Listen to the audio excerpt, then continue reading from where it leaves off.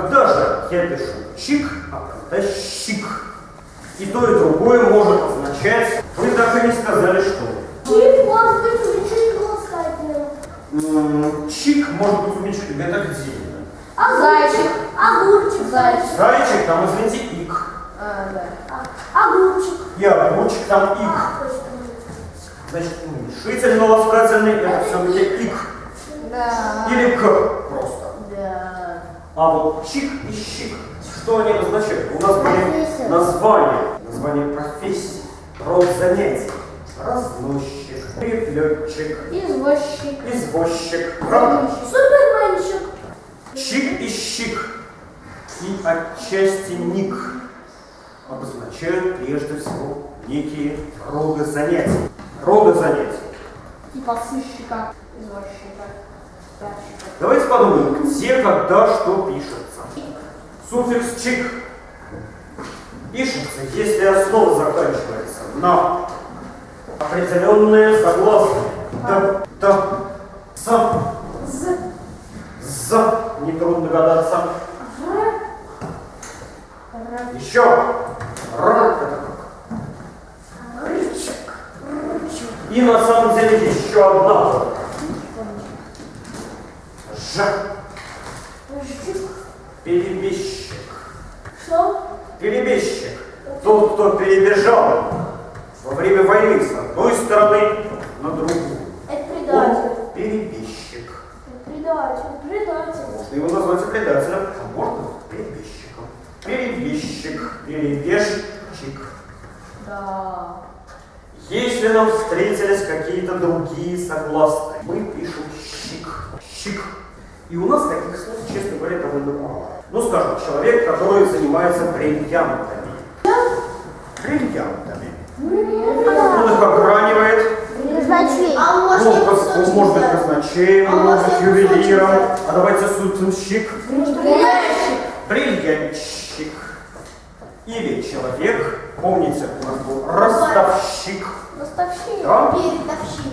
Ростовщик, Гробовщик. который брал что-то в рост. Гробовщик, согласен, который занимается рабами. Какой-нибудь процентщик.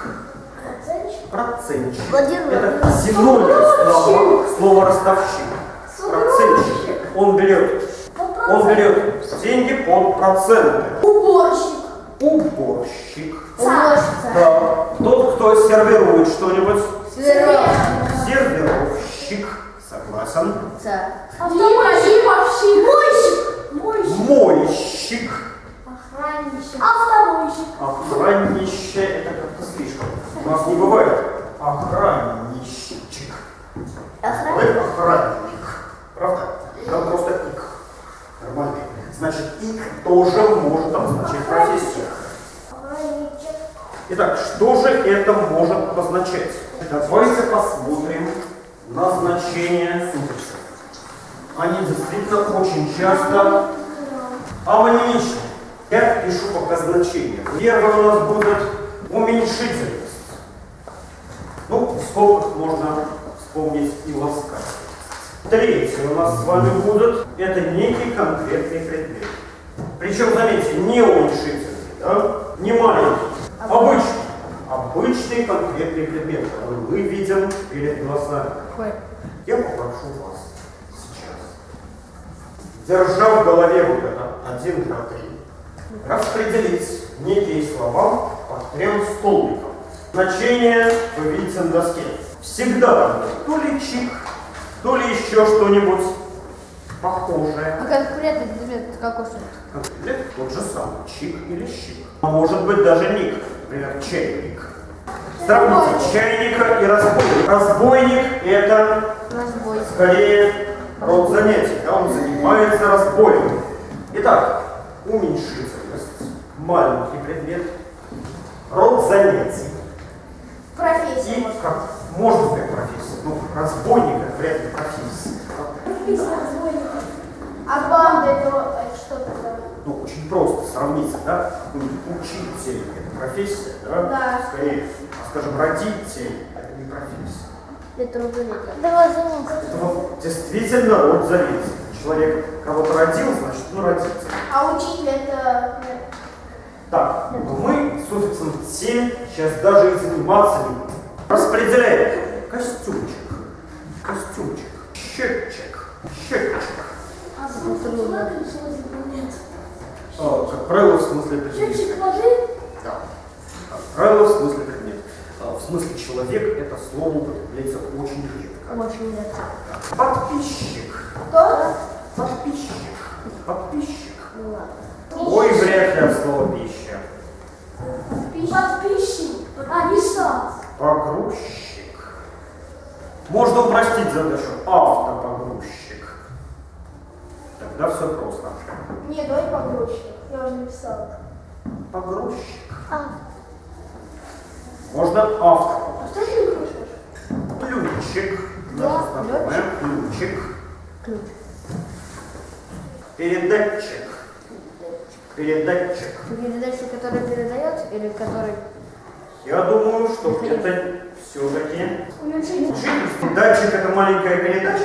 Нет. Передатчик. Рот замять. Это тот, кто передает. Да, ну на свой на 30. Передатчик. Наверное, на спутник. Или, или тот, который... Да, спутник. Отлично. Да. Конечно, некий предмет. Да, а Передатчик.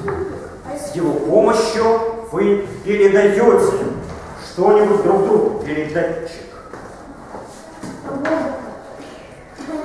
Заказчик. Заказчик. Стаканчик.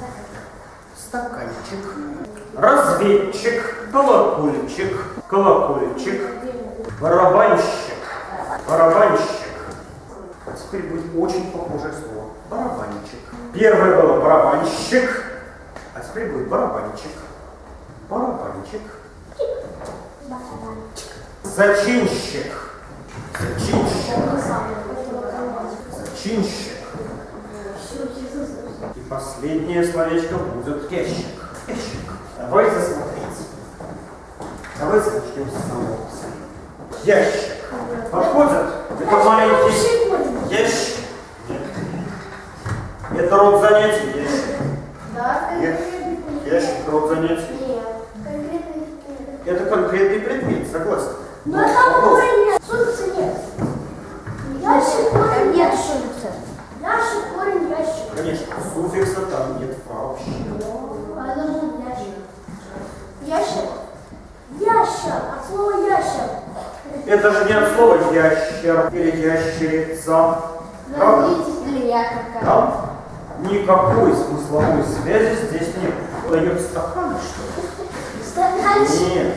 Это маленький стакан, да? Стаканчик. Колокольчик. Барабанщик. Барабанщик. Маленький разведчик. Он что делает? Он все разведывает. Правда? Значит, корень или ведает. Конечно, значит, корень ведает. Добавляем это далее. А это похоже на разведчика. Разведчик. Самый Чик.